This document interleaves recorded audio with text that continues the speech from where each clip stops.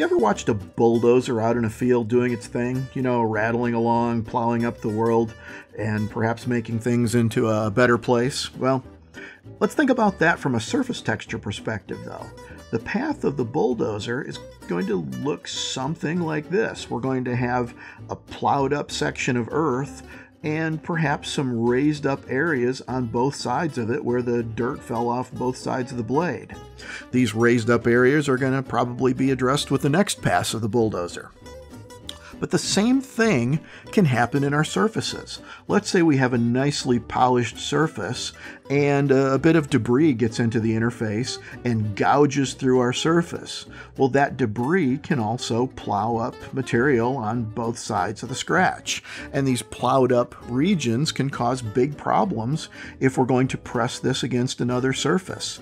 Those plowed up regions are going to be stress risers, or those plowed up regions could cause uh, a breakdown in an oil film. They'll penetrate through the oil. But here's the problem in some cases, we see this in our graph, but they are not real. Yes, that's right. The graph on your roughness gauge can fool you sometimes by showing you peaks that are not real. These peaks over here in the graph may not have existed in the original surface. So let's talk about how that can happen and how we might be able to prevent that. So we have a nice plateaued surface here. There are no peaks. We have some valleys maybe for oil retention, and we want to look at this particular surface, this primary profile, in terms of its roughness and its waviness. Now, first off, to prove whether or not we have peaks in reality, we should always start at the primary profile. The primary profile is the true picture of reality. But we need to extract waviness and then maybe explore the roughness deeper. So to extract the waviness, we're going to use a moving average, the Gaussian filter like we talked about in the previous video, to smooth our way through this surface. But as this average slides through, at some point it's going to encounter this valley, and this valley is going to pull the average down. The average in this region is influenced by those low points.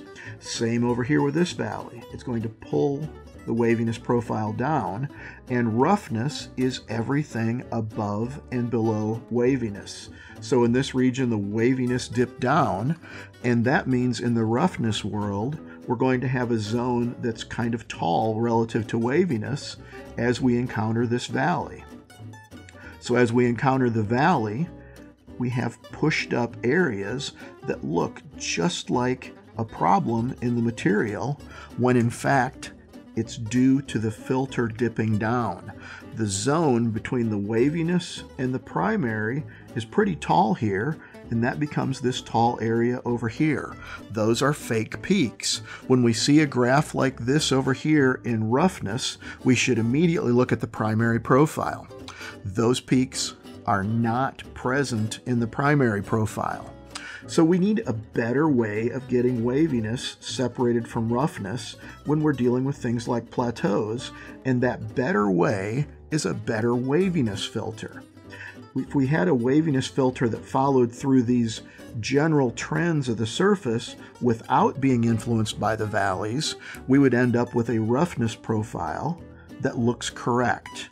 The roughness profile has roughness and a valley, but no fake peak. And the filter that does this, that gives us the proper roughness profile and the proper waviness profile, is called a robust filter.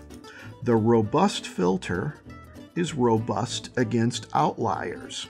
The robust filter does the moving average of the Gaussian, so it's going to slide this moving average through the surface, but it's going to give less credit to the points that are farther away.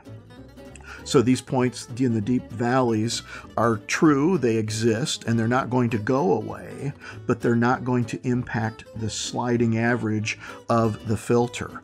So the robust filter is the filter we want to use when we're analyzing surfaces with porosity or brittle surfaces like glass that have scratches in them.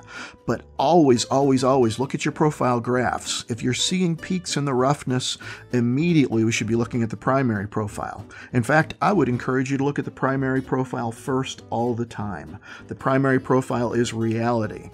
Now, for more help with this or to learn more about robust filtering, we are glad to jump in and give you a hand. So reach out to us at digitalmetrology.com.